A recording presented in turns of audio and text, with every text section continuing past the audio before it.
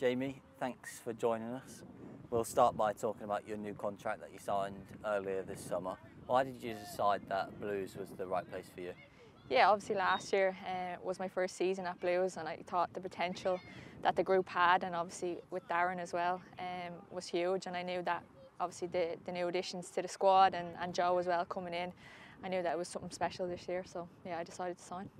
And you just mentioned Jo there, she's obviously come in as assistant head coach. How have you found working with her and how do her and Carts work together? Yeah, I think they work pretty well. I think Carts has mentioned it before that he can't be without her now. I've seen that in an interview. But yeah, I think uh, Jo for me, she's she's so detailed and obviously she's experienced in, in the league and, and playing at such high level, so that can only be a plus for us. Um, taking bits off her and, and she's good with that and, and giving detail on, on where you need to be and stuff. So yeah, I'm looking forward to working with her more and we've been back in pre-season a number of weeks now and it's coming to an end. How have you found pre-season this summer?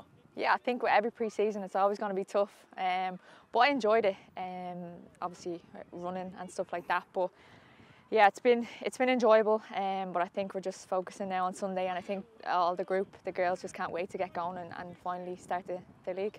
And we've added a lot of players to the squad this summer, a lot of quality as well, and a lot of championship winning experience how have you found working with the newbies and, and how excited are you con to continue that and build those relationships? Yeah, absolutely. As you said, the experience uh, that the girls bring, obviously winning the championship is vital. Um, it's a different league uh, for some of us as well, so I think we need to use that experience that the girls have. Obviously, they'll they'll show us that. Um, but yeah, they've been great. They've adapted well, and I think it just pushes um, for places in the team, and it only makes training better, the quality better. So it's a great.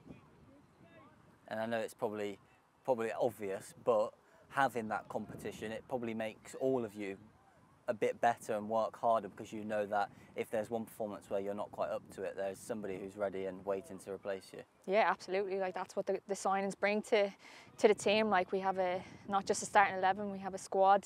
The depth is there, and as you said, it brings that quality up. It raises the bar, and everyone wants to be in the starting eleven. And I think that's only only vital for training, um, standard wise and stuff like that. So it's been brilliant and we obviously had an unbeaten pre-season in our friendlies and we finished last weekend with a victory against WSL opposition in Reading.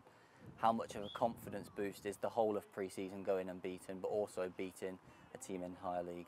Yeah, absolutely. As you said, we're, we were unbeaten and I think we just need to take all those positives. Um, as well, there will be negatives in those games and, and we'll take that on board and bring it into the first game of the season. And as you said, beating higher opposition, um, it's what we're about. We, we like to kind of go in and give 100% and that's what we'll do on, on Sunday.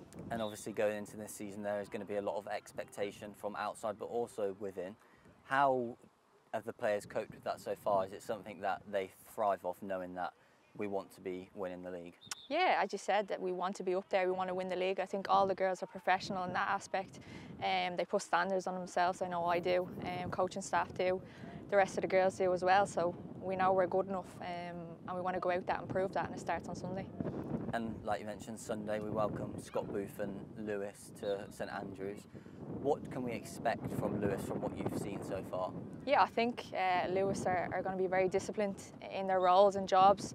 Um, but as well, we're just going to go in with our game plan and hopefully come out with the three points. But yeah, they're going to be disciplined, they're going to work hard, we're going to respect that. But as I said, we're going to implement our own game plan on them. And just finally, we'll be back in front of the fans. And after a, such a good summer, it must be exciting to be back in front of them. Yeah, it's always nice to get back in front of the fans. I think our last our last game was at Villa Park, so yeah, it's it's it's been a long stint without them, and we're finally back. So hopefully, see a lot a lot of them out on Sunday. Well, Jamie, thanks for joining us, and good luck for Sunday. Thank you.